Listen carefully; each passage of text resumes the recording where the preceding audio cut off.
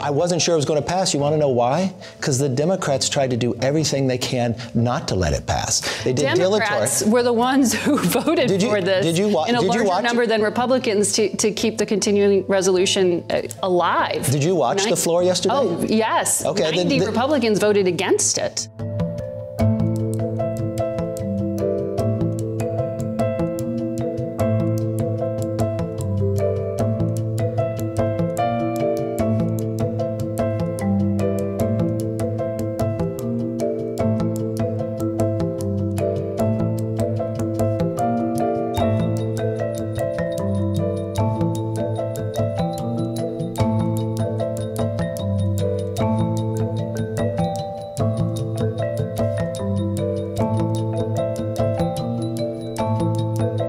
The priority for me is America and our borders. Now, I support um, being able to make sure Ukraine has the weapons that they need, but I firmly support the border first. So we've got to find a way that we can do this together.